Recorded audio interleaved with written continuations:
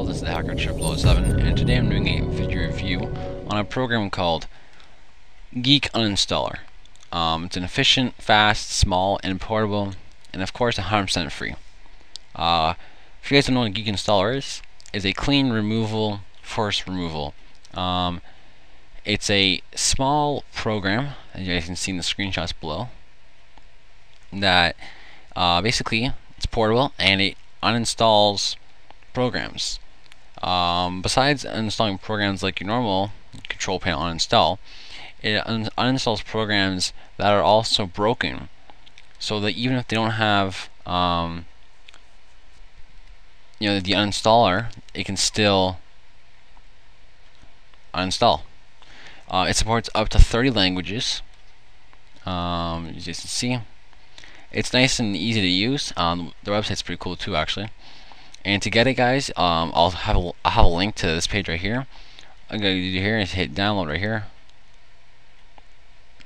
I'll bring it here, and you guys can click right up there, which will give you the latest version of it. And it comes in a small, uh, very small uh, uh, zip file, which you guys can just open. Alright, and in there, guys, you'll have the single um, exe file. Oops.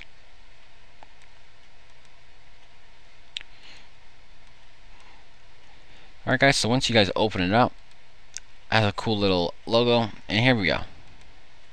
So this is the actual program itself, guys. Like it said on the uh, website, you guys can actually uh, put it on a flash drive and bring it to different places and it works perfectly.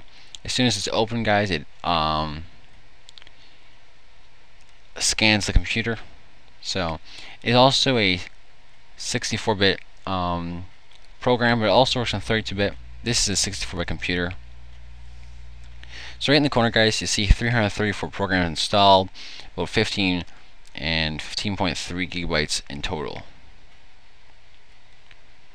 So you guys can see, um, I'm going to uninstall a program for the hell of it. So, uh, as you can see, the broken ones have no file size. So, uh, this one here, guys, it's a broken one. By right-clicking on it, you'll have different um, options. So we can Google it. We can installation folder, registry entry, which will open up the registry and find it for yourself. And I want a force removal. I'll guess. So what it's going to do is it's going to go through and give me a for sure harm percent that this program is being removed.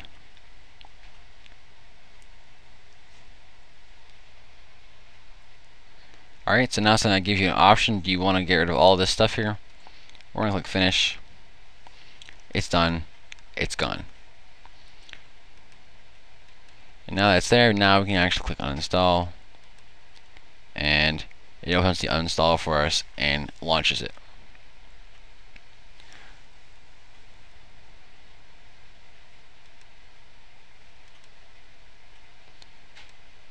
Alright, because I have a Google Chrome open, it's gonna be a little scary there. But that's what it guys. So you guys can see it's a pretty uh, neat little program We got the about settings here, actions, and of course we can export to an HTML file. Alright guys, so that's what it for this video guys. I hope you guys liked the video. Again, it's a really simple little small tool that I found. I thought I'd share with you guys, especially with you guys developers who uh, need to remove some programs easily. So that's what it guys for this video review.